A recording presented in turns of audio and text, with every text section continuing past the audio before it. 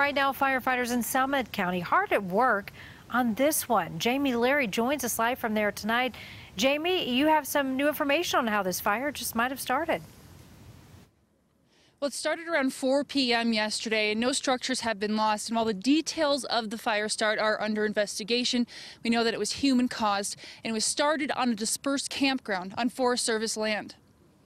It, it's as dry as it has ever been for this time of year. Justin Conrad has managed many of the fires in Colorado this year, and while this one isn't as large, crews aren't taking any chances. You never know. Um, as explosive as some of the fires have been this season with Pine Gulch, Cameron, or, or Williams Fork, you know, nothing's out of the realm of possibilities for this summer. Summit County Fire and EMS, along with assistance from Grand County, worked well into Wednesday night to contain the blaze.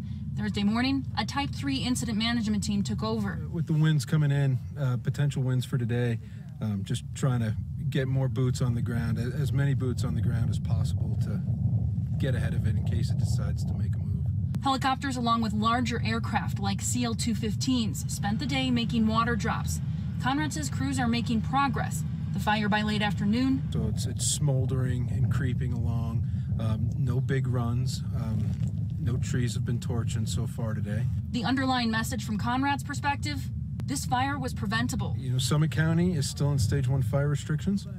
Um, so no fires while you're out camping unless you're in a, a Forest Service designated camp spot with, with uh, an established metal ring. And with cooler weather anticipated and all of the resources allocated today, firefighters hope to get a good handle on it. It's 80% or it's 80 acres burned currently with 0% contained, but they are optimistic they can knock it down. We're live in Summit County. Jamie Leary, CBS 4 Mountain Newsroom. Jamie, thanks.